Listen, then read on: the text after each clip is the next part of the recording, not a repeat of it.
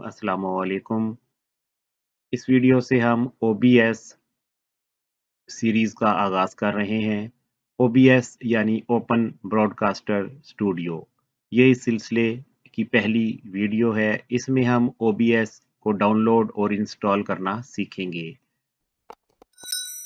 OBS एक free and open source screen capturing and recording और live streaming software है। इसके ज़रिए ना सिर्फ़ आप स्क्रीन रिकॉर्ड कर सकते हैं, बल्कि यूट्यूब और फेसबुक वगैरह पर लाइव स्ट्रीमिंग भी कर सकते हैं। तो आइए अब देखते हैं कि इसे किस तरह से डाउनलोड और इंस्टॉल करना है। आपने अपना ब्राउज़र ओपन कर लेना है गूगल क्रोम या माइक्रोसॉफ्ट एज जो भी आप यूज़ करते हैं। G. Google Chrome 3 of 7. Enter. New tab dash Google Chrome toolbar address and search. Search box में आपने OBS लिखना है O B S enter press कर देना है Ops enter. Ops dash Google search dash Google Chrome. Ops dash Google search. Page has six regions, 121 headings. Ops. जब ये page load हो जाएगा तो यहाँ पर आपको जो पहला रिज़ल्ट मिलेगा ओपन ब्रॉडकास्टर स्टूडियो वाला उसे आपने ओपन करना है Search results heading level 1. Web result with site links heading level 2. Open broadcaster software vertical bar ops visited heading level 3. Link. इस लिंक पर आपने एंटर प्रेस कर देना है Enter. Ops dash Google search visited heading level 3 link open broadcaster software vertical bar ops blank. Page has three regions, six headings and 54 links. Op- open. OBS का home page open हो जाएगा। यहाँ पर आपने H press करके heading पर आना है। ऑप स्टूडियो डाउन एरो करेंगे आप। ये इसका वर्जन बताया। डाउन एरो करेंगे। विंडोज़ सपोर्ट्स मैक ओएस तीनों ऑपरेटिंग सिस्टम्स के लिए ये मौजूद है हम चूँकि विंडोज़ पर इसे यूज़ करेंगे इसलिए विंडोज़ वाले लिंक पर एंटर करेंगे Link Mac Link Windows supports Windows 8.1. Win enter. Blank. Welcome vertical bar ops. Alert downloading 112 M. Downloading start हो गई है जब ये कंप्लीट होगी तो दिस पीसी में डाउनलोड्स वाले फोल्डर में ये फ़ाइल मिलेगी मैंने ये पहले से ही डाउनलोड कर रखा है अब इस डाउनलोडिंग को स्टॉप करते हैं Control J. Downloads. Downloads. Search downloads. Virtual piece. Grid with link HTTP 835. Pause button. Enter. Table. Column 5. Row 1. Pause. Virtual PC. Link show in folder. Link 8. Link ops. Heading level 2 yesterday. Cancel but resume but cancel but enter alert. Download cancel code virtual piece. Remove ops dash studio. Enter alert. Removed. Alt F4. Downloads dash Google. Alt F4. Taskbar. Browser को close कर दिया है D. Folder. अब हम इस PC में जाते हैं और डाउनलोड्स वाले फोल्डर से इस फ़ाइल का सेटअप रन करते हैं Windows E. File Explorer. Items view list D. Desktop D. Document D. Not selected. Download. Enter. Items view list box. To move. Chrome setup. Ops dash studio dash 27.2.4 dash full dash installer dash. ऑब studio के नाम से ये file यहाँ पर मौजूद है इस पर एंटर करेंगे Enter. Window dialog. Items view multi select list box. Yesterday expanded. Ops dash studio dash 27.2.4 dash user account control dialog. Do you want to allow this app to make changes? User account को yes करेंगे Yes button to act enter.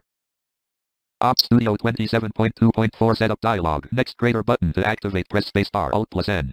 Next इस पर enter कर देंगे Enter. Press page down or scroll to see the rest of the license. Read only edit. Use your reading keys to read the text. ये licence agreement है यहाँ पर भी हम नेक्स्ट कर देंगे एंटर प्रेस करते हैं Enter. Destination folder edit. C colon backslash program files backslash ops dash studio. Type in text. Destination ये भी हम डिफॉल्ट ही रखेंगे फिर एंटर प्रेस कर देंगे Enter 0%. Show details button to activate press spacebar Alt plus D. 69%.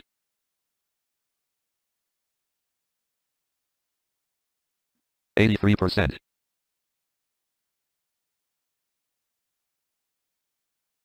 Eighty-six percent.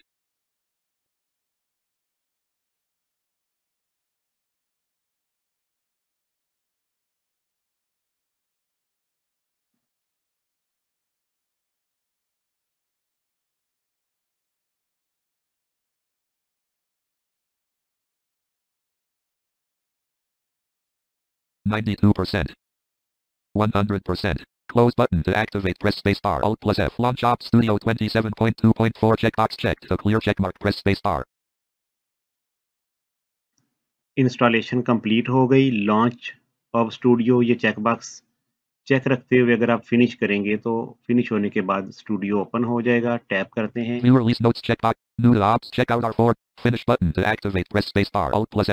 New release notes checkbox. New ops. Check out R4. Finish button to activate. Press spacebar. Alt plus F. Finish button इस पर enter करेंगे Enter. Downloads. Items. View multi select list box. Yesterday. X ops. Stat. OB studio open हो गया है title देखते हैं Title is Ops 27.2.4 left parent 64-bit Optimize for streaming. Recording is secondary radio button checked.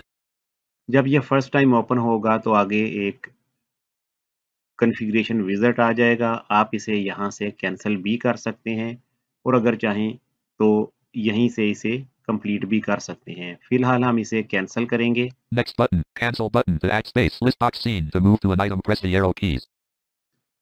Studio का structure कुछ इस तरह से है कि इसके टॉप पर टाइटल बार और फिर नीचे मेन्यूज हैं जिनमें फ़ाइल एडिट वगैरह के मेन्यूज हैं ऑल्ट प्रेस करते हैं। Menu file to move through items press edit E view V docks D profile E scene collection S tools E ये इसके मेन्यूज हैं जिनमें इस प्रोग्राम से मुतलका तमाम ऑप्शंस मौजूद हैं. मेन्यूज के नीचे वाले एरिए में पहले सीन्स लिस्ट बॉक्स है जिसमें जो भी हम सीन क्रिएट करेंगे वो शो होंगे। सीन्स को आगे चलकर हम समझेंगे।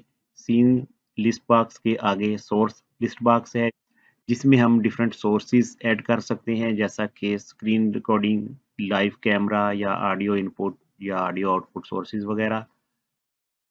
इसके बाद ऑडियो मिक्सर है जिसमें हमारे लैपटॉप या डेस्कटॉप की आउटपुट और इनपुट डिवाइस शो हो रही होती है। और इसके बाद आगे कुछ सेटिंग्स हैं।